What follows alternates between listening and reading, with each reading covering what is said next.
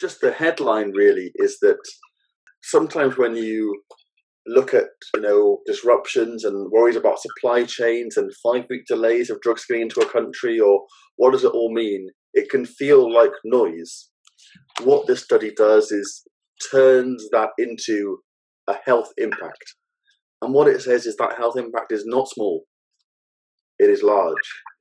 In heavily affected countries it will be very large it will be almost as we say on the same scale as what the covid-19 epidemic might be under certain circumstances, though, of course, we're comparing very uncertain things together. And that means that when you want to minimize the impact of the COVID 19 epidemic, it does mean a big part of that has got to be thinking about the, these health issues. We focus on HIV, TB, and malaria. There will be other health issues as well. I think that's front, front of mind.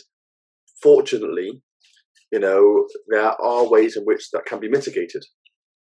And, you know, we're mm. already hearing about that happening and seeing that happening. And I think that's going to be going to be crucial.